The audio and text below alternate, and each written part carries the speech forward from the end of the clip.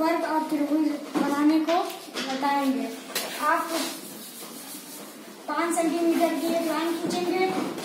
एक का नाम ए और एक का नाम बी फिर यहाँ पे यहाँ पे नो, नोक रख के फिर एक हाफ़ सर्कल खींचेंगे। फिर यहाँ पे रख के साठ डिग्री का कोण बनाएँगे। फिर फिर एक सौ बीस। फिर एक सौ बीस से साठ अंश की आधा मार्क ले लेंगे। फिर यहाँ एक चाप लगाएँगे।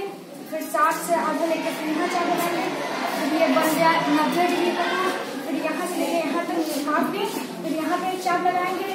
फिर ये सी बिंदु पर काटता है डी बिंदु तो इसको फिर ऐसे सीधे मिला देंगे फिर ये यहाँ से इतनी दूरी लेके फिर यहाँ एक चाप लगाएँगे।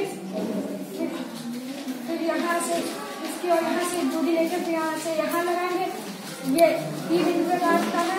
फिर इसको जोड़ देंगे। जो आपका खींचेंगे जो एक ए और एक बी इसकी यहाँ से लेकर फिर एक हाफ़ सर्कल खींचेंगे, यहाँ से लेकर सात डिग्री का फिर एक सौ बीस.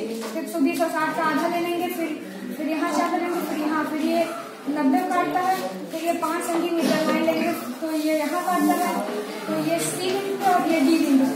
फिर इसका इतनी लंबाई लेके फिर यहाँ से नोट रख के फिर यहाँ चाप लगाएँगे फिर इसके यहाँ से दूरी लेके यहाँ पे यहाँ रख के, फिर यहाँ चाप लगाएँगे तो ये आपका बनेगा आयत